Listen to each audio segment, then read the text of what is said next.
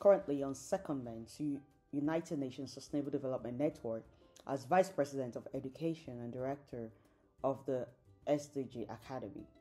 He remains the full professor of International Development Studies, Director of the University College Dublin Centre for Sustainable Development Studies, and a Director of the University College Dublin Masters of Science in Sustainable Development in partnership with the United Nations Sustainable Development Solutions Network. He received a PhD in economics from the London School of Economics in 1994. He is a Government of Ireland, Marie Curie, IZA, RSA, EIIR, and RIPOR Fellow. He has extensive experience providing external services for the United Nations, European Commissions, and World Bank. Among other journals, he has published in the Review of Economics and Statistics, Economic Journal, Journal of Industrial Economics, Energy Economics, and Electoral Studies. His current research is on many aspects of the United Nations 2030 Sustainable Development Agenda, including partnerships, data, technology, science policy interface, finance, and education. Ladies and gentlemen, it is an honor to have Professor Walsh in this year World Sustainability Conference. Thank you, uh, Professor Walsh, for honoring an invitation, and I welcome you to your session. Thank you. Um, delighted to be here, and thanks very much for the uh, to be working with. I'm delighted to be working with the Green Institute and um, at this World Sustainability Conference. And I was saying that I very much enjoyed Professor Imran's speech uh, or his, his lecture. And of course, what I want to talk about education, the, the link there, of course, is that um, when you're doing this type of reporting, uh, one has to have sustainability office, officers and staff who are capable of actually implementing SDG reporting. So professional training and upskilling of staff is really a big issue uh, for this project or for the Sustainable Development Project. Um, so I'm just going to share some reflections on Sustainable Development Education. Hopefully I can get my presentation going. Um,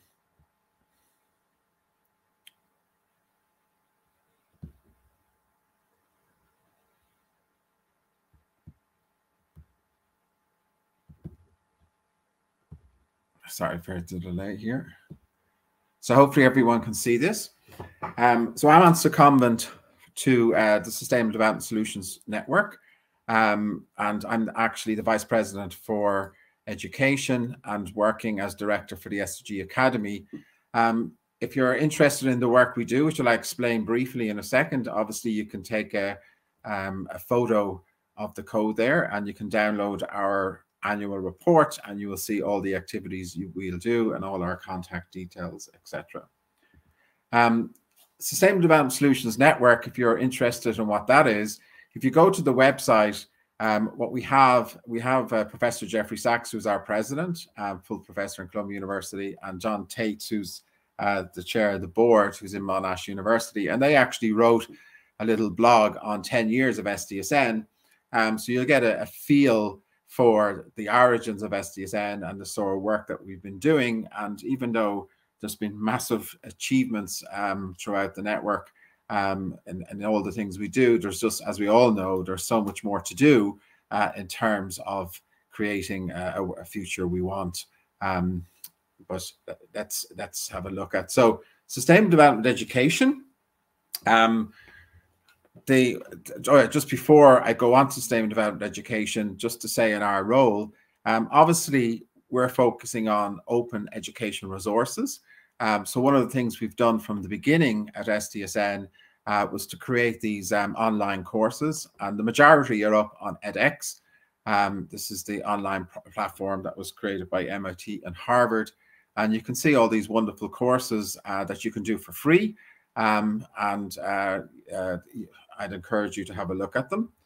The one that did extremely well recently that was actually trending on edX. So just to show you, there is a mind, there is a, a mind shift happening across government corporates and universities and NGOs on trying to learn or get knowledge for sustainable development because this course, the nature-based solutions course by the UNEP, the UN Environmental Programme with other partners was actually trending in edX. So, you know, uh, there's lots of like STEM type courses on edX, but to have a sustainability course is it's reflecting a change in the times uh, that people are now aware of the problem and they want to fix the problem. And the first step to fixing the problem is to acquire knowledge and to train and upskill. And that's why sustainable ed education is becoming so important.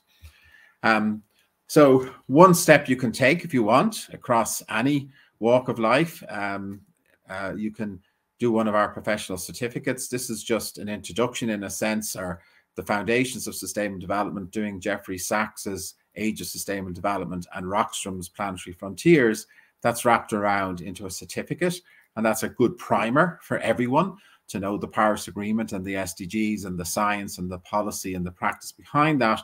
Um, so I'd encourage people to have a, a go at that, uh, getting certified by the Academy as a primer.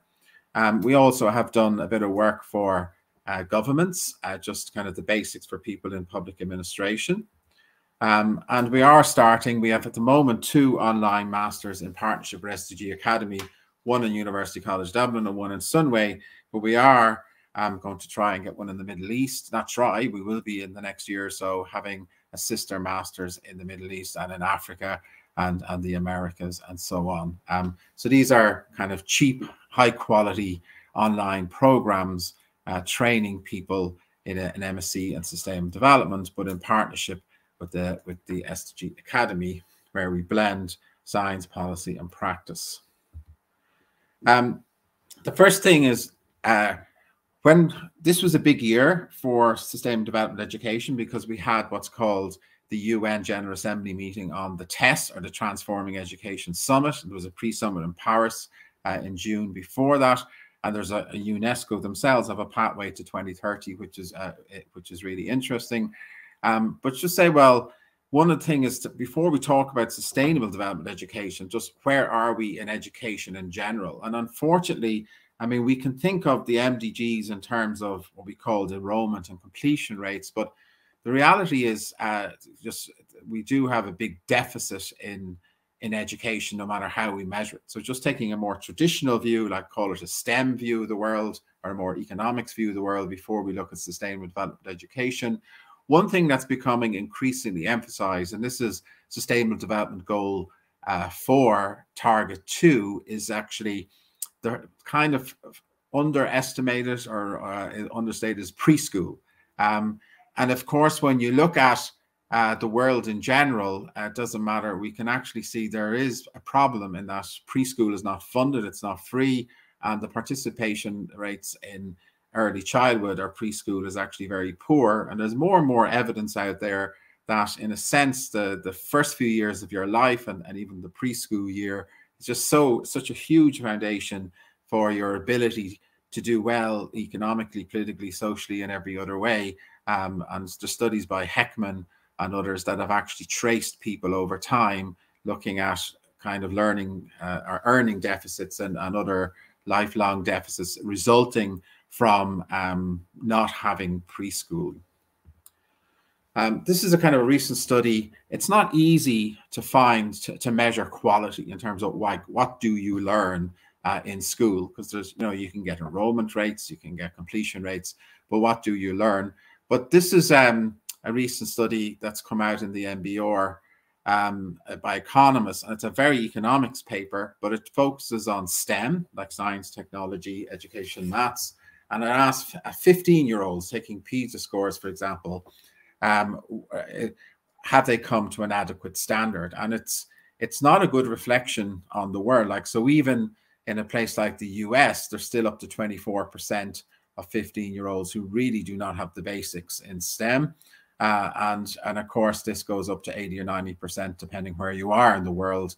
Uh, but there is extreme deficits. Like so, even before like we might want education for sustainable development. We want people in school to learn how to live with nature, to learn how to live with other people, not just teach them STEM skills, but also non-STEM skills, including empathy, things like working together, creativity, all these non-cognitive uh, skills.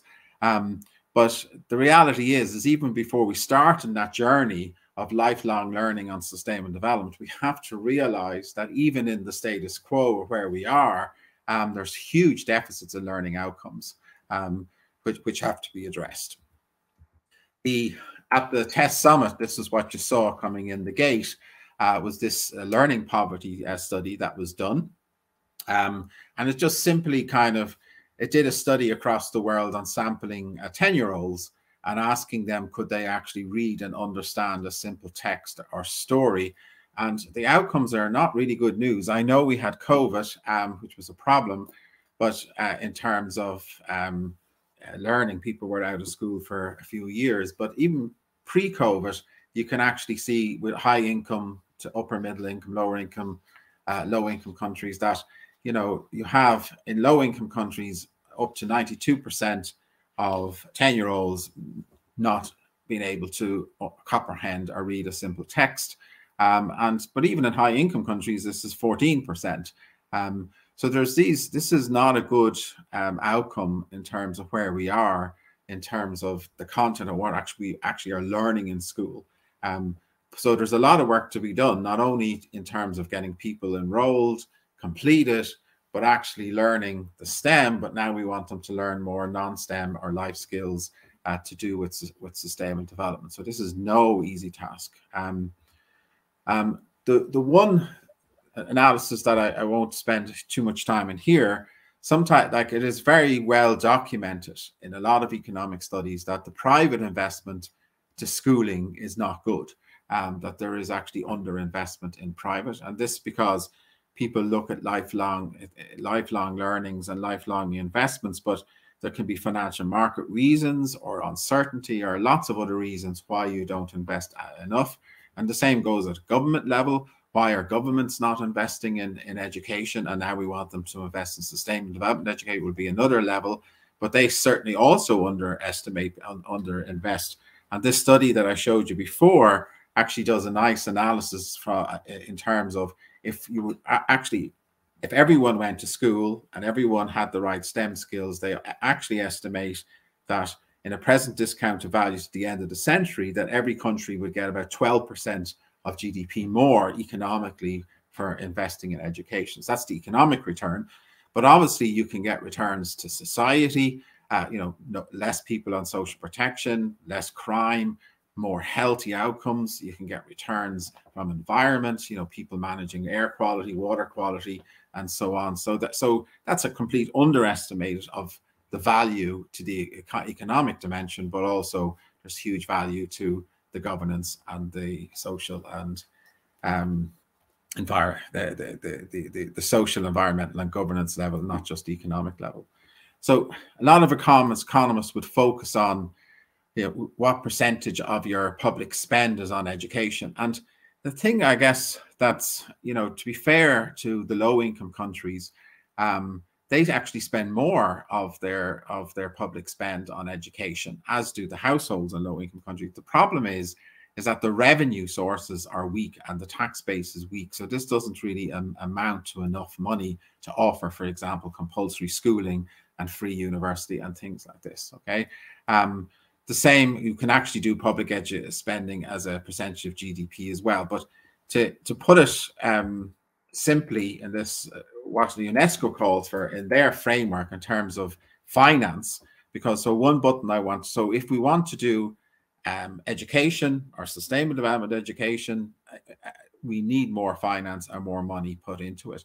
The recommendation at national level is that we should have up to 15 to 20% of public expenditure at least dedicated to education.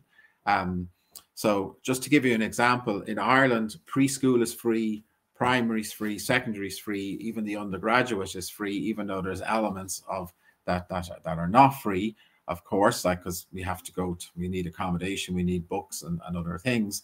Um, but it just shows you um, that uh, the, that this requires a commitment on behalf of national governments of 15 to 20 percent. But those who've actually studied uh, low to low middle income countries say even committing 15 to 20 percent of your public spend actually does require some filling in by the global community. Um, and you might ask yourself, well, why should the world invest in in education in other parts of the world? Well, you know, I think we see it. It's obvious in terms of the same development education. We have one ocean, one climate, one food system, Uh, we need peace. We need uh, to mitigate uh, climate refugees, etc., etc. So even you know, apart from a moral duty, uh, there is um, a kind of a, a benevolent uh, or self-interest region, a self-interest to actually do this because um, the best way for pathways to peace globally, the best ways for global economic development that is inclusive and environmentally secure is heavy investment into education. And obviously, we'll talk about sustainable development education. But at the moment, they reckon the financing gap from the north to the south or the high income to low income is about 39 billion. I think that's probably um, a lot more. Um, but Gordon Brown at the TESS raised about 12 commitments for 12 billion a year, which is not 39 billion. Um, um, and then there are pushes now for ODA, overseas development aid, and other sorts of finance, you know, to say, please focus on putting resources into sustainable development education or education as a whole, because this is your best way of actually, this is the most important pathway to sustainable development. Uh, it's the best thing you can do um, to actually achieve sustainable development across the world. Um, just one thing I want to say is like here are the goals and targets of SDG 4. But I guess the things that I'm talking about, I want to talk about here that I think are really important is one is the government spending on education, whether it's um, you know whether it's uh, sustainable development education or not, and that actually comes from SDG one um, target A in SDG one, which is basically talking about the proportion of uh, the total government spend on education. That's actually not an SDG four. And also the other thing that we want to stress is that we want to actually change the curriculum on um, to, you know uh, the nature of the curriculum towards sustainable development you know like global citizens education education for sustainable development and teacher education assessments etc and they're not actually mentioned in sdg 4 but they are mentioned in other goals and targets of this agenda which i've outlined here. So we the sdgs do give us a mandate to talk about finance to talk about technology to talk about curriculum but they're not necessarily actually in in um, SDG4 itself, just to realize that.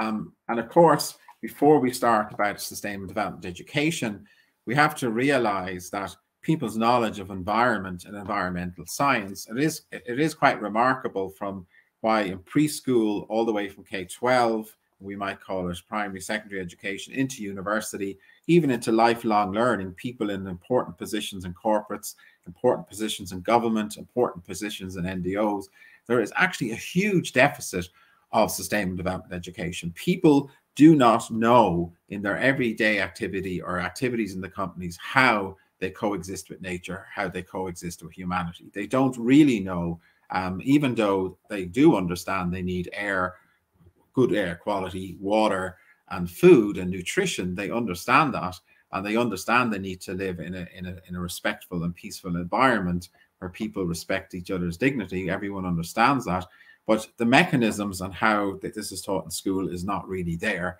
Um, and this is just a little graph. We can go through some of the indicators on, um, let's call it uh, sustainable development education, but it's it's really not in the schools yet. And it is, you know, for humans not at a very young age to understand how they coexist with nature and with humanity uh, to understand the issues that give them basically daily life support and a quality of life is quite remarkable when we think about it. So there is a good body of work to be done to ensure that we have lifelong learning in um, sustainable development education, but we're only at the beginning of the process. So the guiding in in the SDG Academy, uh, we're working with the secretariat to a thing called Mission 4.7 that I encourage everyone to have a look at. It's a partnership between the Academy and um, UNESCO and the Ban Ki-moon Center uh, for Global Citizens and the Center for Sustainable Development at Columbia University and amongst many other partners, um, including the Pontifical Academy of Science and Social Science.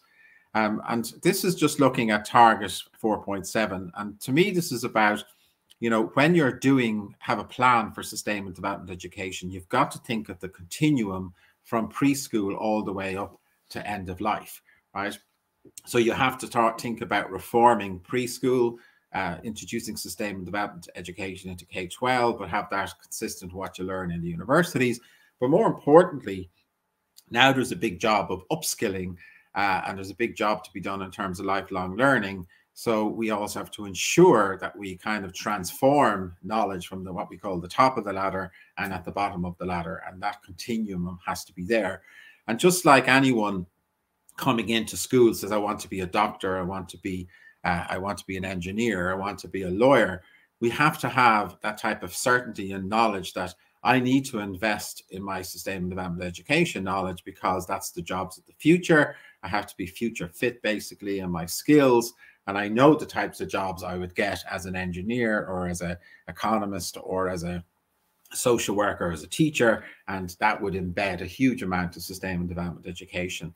Um, so that that is a huge body of work to be done. Um, so I've, I've just explained that there. Um, universities, you say, well, do universities have a role in this in Mission 4.7? Like, do we get involved? And the truth of the matter is, is that obviously as you know sdg knowledge if you want to call it curriculum data research intellectual property etc i mean that should be created in the universities uh, for dispersion everywhere into into upstream and downstream into schools into into all the the businesses etc and it is if you think about universities this is the place where there's intergenerational transfer and conversations and creative creation of knowledge for everything, but I wanted for sustainable development. So when you say we want a dialogue between the youth and the, the older generation, this is exactly what happens inside universities. Um, and of course, universities traditionally had a professional role uh, that they should put obviously put more resources into, which is to train teachers, to, to create curriculums for schools, which they do, but they need to do it in a much more, let's call it aggressive manner uh, when it comes to sustainable development because the need is now and it, there's a lot of uh, gaps that need to be filled very quickly. And of course, HEAs have their higher education institutes are involved in the upskilling of corporates through their business schools, through public administrations, for, through their politics or political science schools. And we do an awful lot of science policy practice interfaces uh, with government departments and etc. Um, so you'd have to say that uh, we should not forget the role of universities and we should obviously ask them to think about the capacities they can build uh, between and across nations for lifelong learning and in particular to power up their professional pillars uh, for teacher and curriculum development and also for uh, training people in corporates and governments and so on. Uh, and there's this huge gap and need to create the actual curriculum and research and knowledge for all of this, which does not exist really at the moment. Um, this is just to emphasize SDSN has six transformations that people are aware of, um, and education is, is the, the first one. And there is a body of work called The World in 2050, which is doing this sort of analysis for governments that if you invest in these six transformations, these are the types of returns you get economically, politically, uh, environmentally, and socially uh, and that there is a real good business model, if you like, for these investment sequences, which uh, create linkages across the world and feedback loops, which will ensure a safe operating space for all people and, and all countries in terms uh, for, for humanity, in terms of a, a safe operating space in, in, a, in a sustainable world. Um, but the thing we must, everyone agrees that the first step to all of this is education that we need to educate consumers or people at home, people, you know, as uh, as voters, that they have to want sustainable development pathways.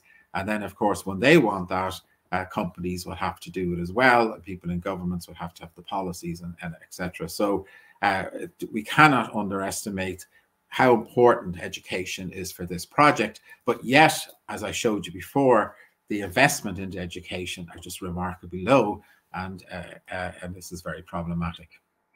And apart from you know just teaching people the science of all of of all of this, or teaching them the sort of moral and ethics of all of this, uh, what we do need to do if we're using technology to be the great transformer in terms of getting us to scale and to redo all our curriculum and the way we're thinking and reskilling everyone um, that so technology is a great promise but we have to have individuals who use this uh, knowledge and create the technology for sustainable development and the systems and the that you know even uh, the, what we heard in the previous talk about having people inside companies who can revisit their accountancy skills update their accountancy skills to bring in sustainability criteria and indicators and monitoring and audits. This is just a huge amount of very fast transition to different types of skills um, and of course the world economic forum has said well for the 21st century we, we really, from preschool upwards,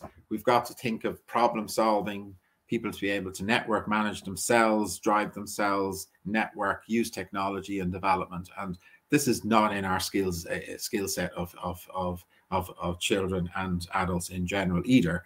Uh, so it's it's really not just about it's the skill sets for sustainable development education, and particularly if we're going to drive it with technology, because uh, this is our only hope to get everyone upskilled and everyone uh, reskilled uh, in the adult population, but also to reform curriculum in K-12 uh, below.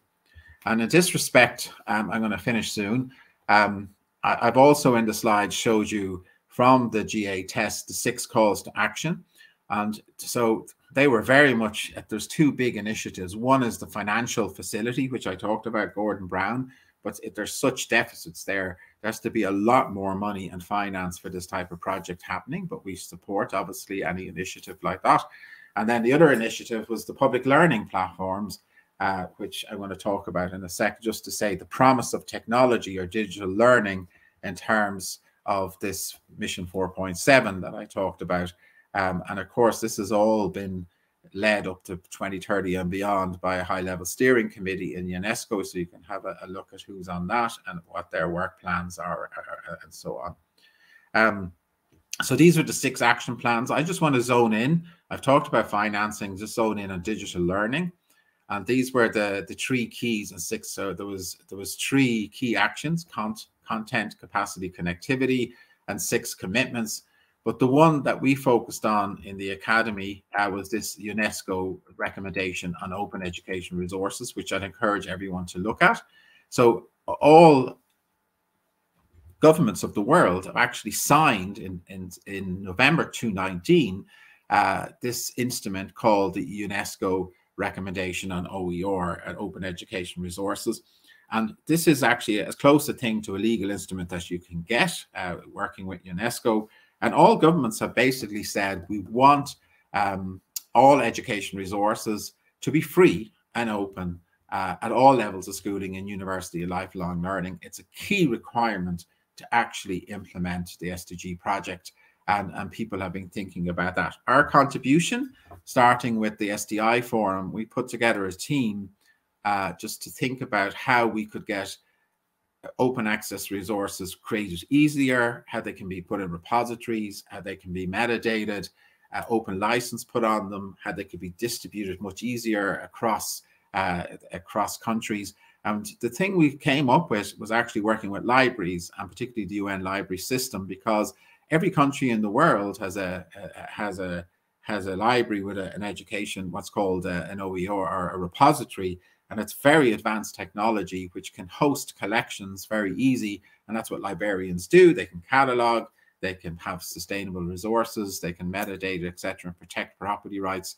Um, but we're thinking that this is the digital highway that we should be using to create oer to push it around the world have it easily updated repurposed translated and so on. So we started this idea at the science technology innovation forum um, and we also presented it at the UNESCO the UNESCO Transforming Education Pre-Summit. And finally, we presented it on Solutions Day uh, in, in September 17th, uh, which was kindly sponsored by uh, the, uh, the government of Ghana and Ireland, but also by the by the UN Academic Impact and UNESCO, or uh, UNESCO as well. Um, but the mission of this idea here is how, and you'll see it coming in the future, how we're going to operationalize this idea of creating open access resources. Uh, but it's one thing creating them, it's another thing protecting them with intellectual property, having them uh, disseminated and distributed all across the world uh, through libraries, easily accessible, easily updated, translatable. And we just think that has to be there as a necessary condition uh, for us to undertake transforming education in schools, in universities, and in the business and government and NGO environments. If we don't have that content and it's uh, high quality, uh, good content, um, uh, we cannot really go on this journey of transforming education. So we think this is very necessary. Um, so this is the team in the SDG Academy. Uh, this is our donors. Uh, this is our, uh, you can take a snap uh, of our of our handles there just on our social media and uh, feel free to contact us and I'll stop sharing now and I'll take any questions.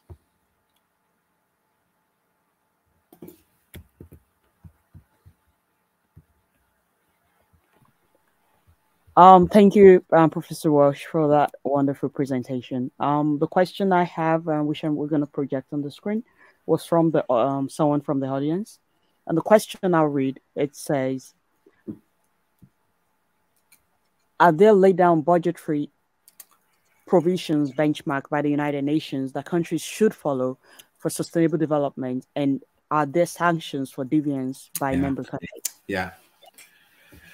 Yeah. So as you as as everyone knows, um, you know, the Paris Agreement obviously is legally binding. Um, and people like if you live in Europe, etc., like the it is like so. For example, uh, when the Irish government had a mitigation plan for its car pathways to carbon emissions, um, the civil society or uh, academics on behalf of civil society solicitors took the Irish government to court to say that they're not meeting their uh, targets and their objectives and pathways, uh, and that we're actually going to have to pay, uh, and uh, you know, compensation to to Europe and, and others for not achieving them. So, like Paris is a is has a legal framework and ha, and potentially you can be sanctioned. That's what I'm trying to get to.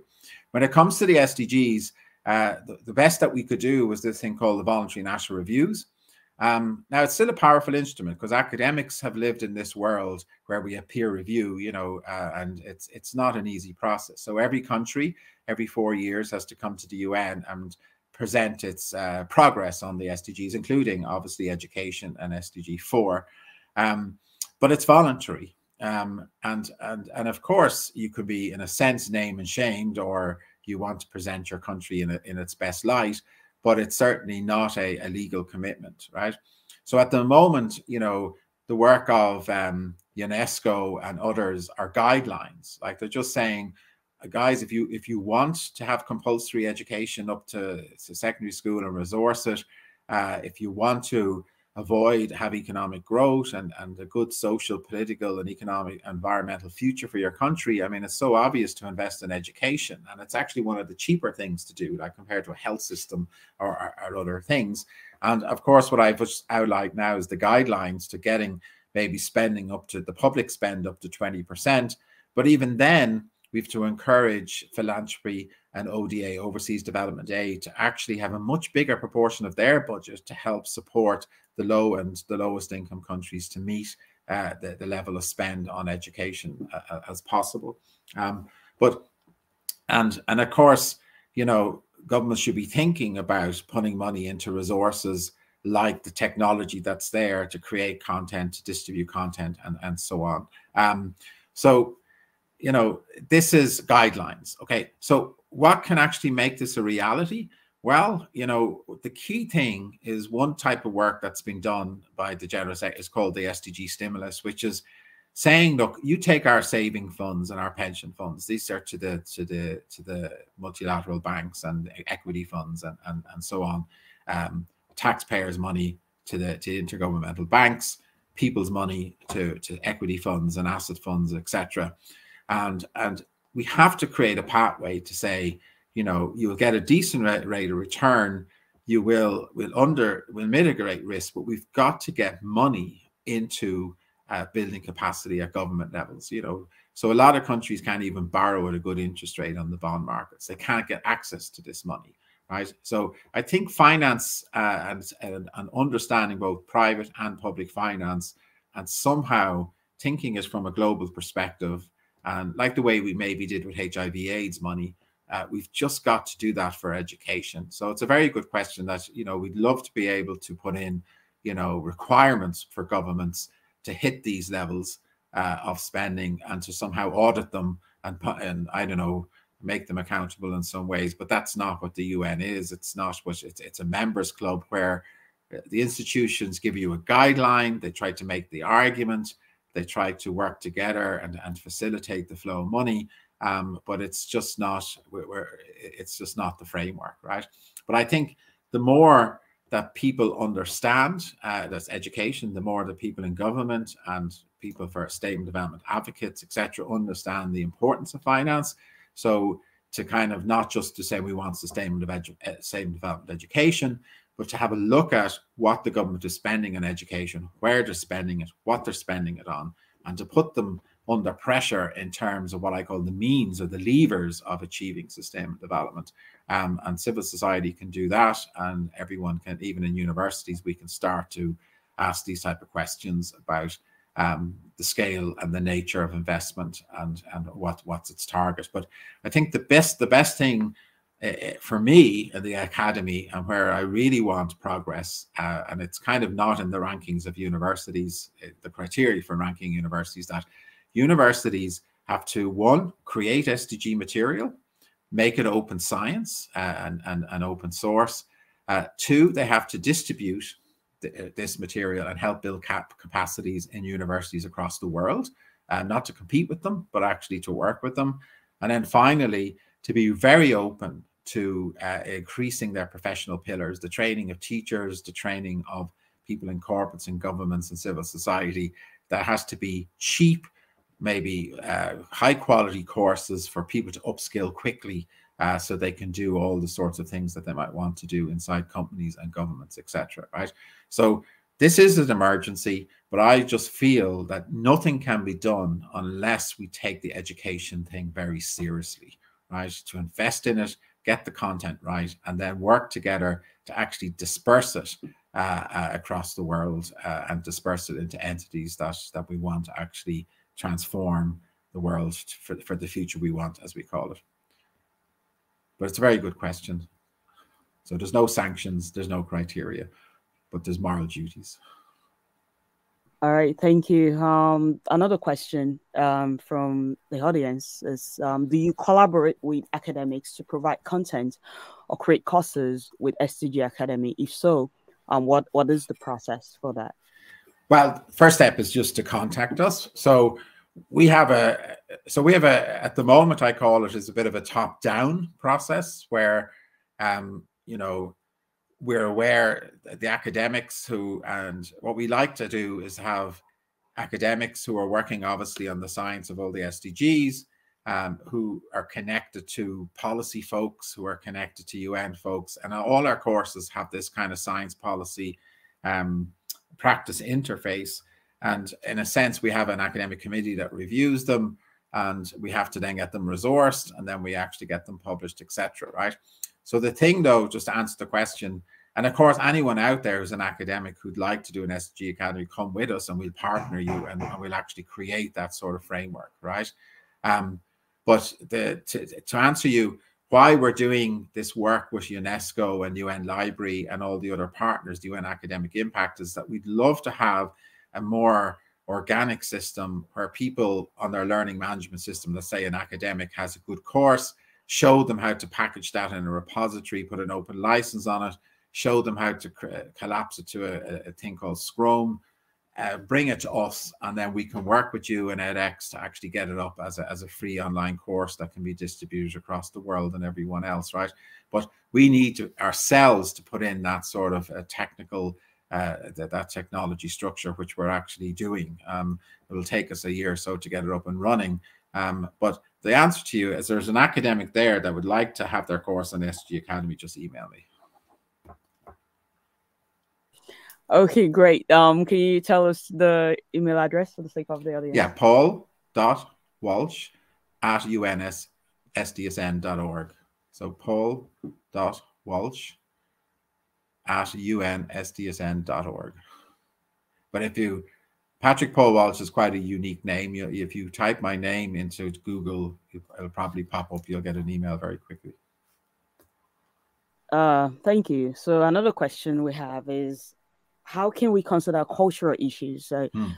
together with sustainability yeah. for an inclusive perspective. Because you, in your presentation, you talked about um, the um, poor um, societies and even rich or developing societies. Yeah. So how can we put in um, cultural perspective? Yeah. So this is, um, you know, avoiding colonialism again. You know, through technology. I, I understand the question very well, and obviously we all are aware inside our companies, inside our cities, inside our own universities, and, and wherever we are, our context is different. You know that how nature and how we interact with humanity is actually fundamentally different depending where we are in the world, right? So um, there is no doubt that there's a context and a cultural issue here, right? Even language, let's say, is, is a big issue, right?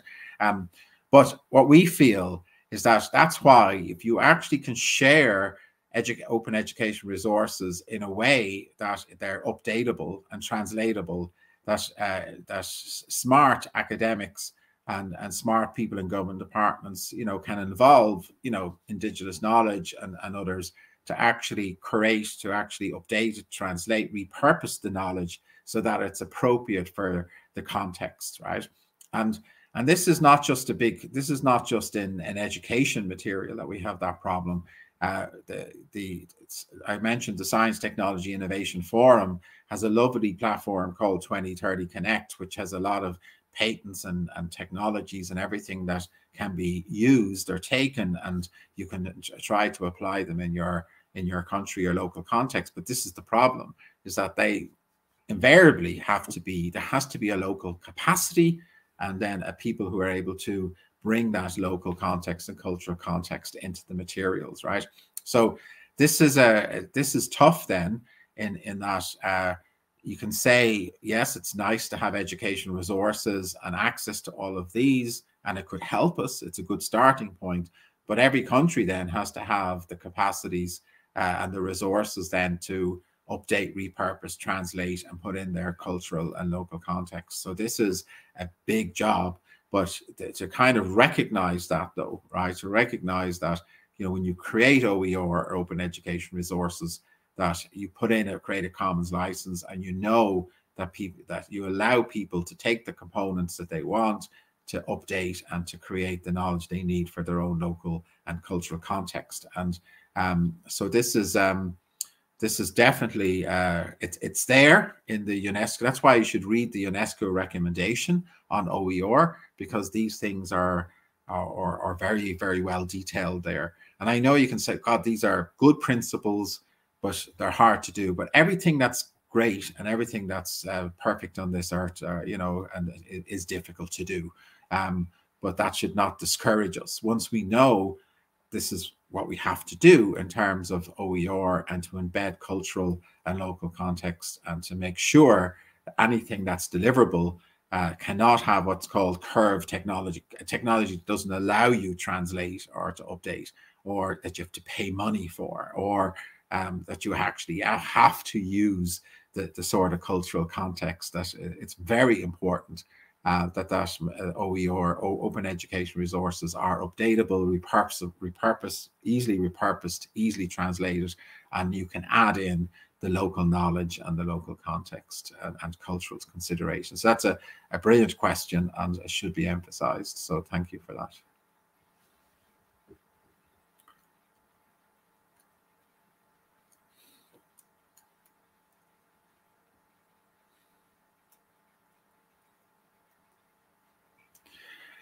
So the question There's a is, question by Eva. Do you want me to answer the question by Even? By yes, Ivan? Is, yeah. yes. Ivan said, "What inspired you to join the SDG yeah. Academy?" Okay, so uh, there's never a short story to this. Um, so, so basically, I've been working with Jeffrey Sachs uh, since 2007, and um, you know, he at the time was uh, he was special advisor to to Kofi Annan, I think, at the time. Uh, then he went to be special advisor with Ban Ki Moon and now um, Antonio Guterres. But um, one of the things that Sachs, just to tell you, Sachs used to do was that when he was doing the MDG project, he had a class in Columbia University in SIPA, the School of International Political Affairs, and whether by accident or design, or whether he was busy in the UN, he just felt that the students would enjoy, you know, lectures from, you know, people visiting New York, whether they're visiting. So they had leaders of countries, you know, people, you know, leaders in the UN coming into the classroom to discuss the issues of development or the MDGs at the time. And of course, that's electrifying to actually have that sort of mixture of science, policy, and practice in the classroom. But when they were doing the MDG project, and at the time he was thinking of the millennium uh, villages if people are aware of those they were they were doing work across africa and other countries um, they felt education was important and he wanted to broadcast out the classroom as he calls it his classroom to other schools. And that's where i got to know him because at the time we were using adobe and phone lines and we had 40 universities around the world coming into his classroom and we were all discussing obviously the mdgs at the time but that was the beginning of this idea that you know this is the birth of the SDG Academy, basically. You know that we should really be, uh, and that's why we have our global classroom in, in the SDG Academy. If you want to have a look at that, we still do that on on introductions to STEM development. It's open to everyone. It's free to everyone. You can and uh, 38 schools accredit it in their in their courses. Um, but that's why we're doing the MSc online uh, where it brings staff from different universities across the world to teach together, bring the science and or bring the practice policy folks in, get people doing their capstones and projects, right? So, so basically, the beginnings of this was working with Jeff on the the global classroom. Uh, that then translated. I was on the board of SDSN when it was created. Um, I was always on the oversight committee of the SDG Academy. But why now? Um, I guess during COVID, I just said I want to. Everyone is resetting. I just felt that I i am delighted to teach in UCD and all the great students, but I just think in terms of this mandate to try and get um, resources and sustainable development education going, I've gone on secondment for five years with SDG Academy, um, just to um, to uh, hopefully take all of this to another level and scale. Um, you know, because that's what we need in the world at the moment, right? Because like will everyone will turn around with the climate emergency and say, okay, you're right, we have to do something. The companies will turn around, the governments will turn around, the society, even universities, and then they'll go, where's the content? Like, how do we do this? How do we train people? Um, so we need to be working on this uh, very aggressively. Um, but that's my story. Um, so it was kind of a more gradual, uh, but uh, but I've I am full time now on the SDG Academy for the next five years at least. Wow, I think it's very inspiring. Um, we have another question from Robert Lester. It said, Professor Walsh, three words when you think about sustainability. um, well, look, I'm taking as as the previous professor did the the Brundtland definition, right? So we're thinking of sustainability in terms of livelihoods and society and governance, and we're thinking of uh, in society. So for society, look, kindness. Um, for governance, peace. People have to not not allow themselves uh, get involved, like to be a, be, to be an advocate of of peace and negotiation and and uh, uh, etc. Um, prosperity, and I know that's uh, and then I'm missing one, and of course the you know th this idea of looking after nature. Like we, most of our religions will teach us that we don't own nature. In fact, we're supposed to be somebody who looks after the the, the, the planet and creates it and and gives it in the best condition we can to future generations. So I think the the, the these kind of words are the key words that are behind the the SDG agenda. Um, so hopefully that hope that's okay. Good, Robert. That's a tough question. Yeah, thank you, thank you so much, um, Professor Walsh, for taking time out um, to be here today. Um, we really enjoyed the presentation, and we hope that um, you will collaborate with us um, in the future. Um, thank you. And do you have any last words for the audience?